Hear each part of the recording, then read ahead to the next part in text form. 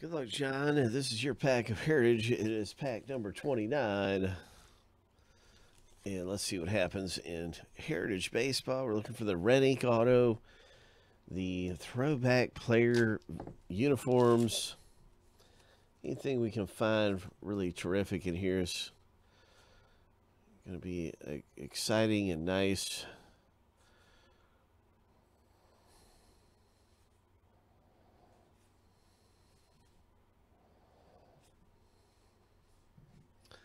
And that is your pack. And of course, we're looking for the short prints and stuff. Anything numbered over 400 or has something above the photo that resembles a short print. So we're looking for, but not in this pack. Nice pack though, John. Some pretty cool stuff came out of Heritage.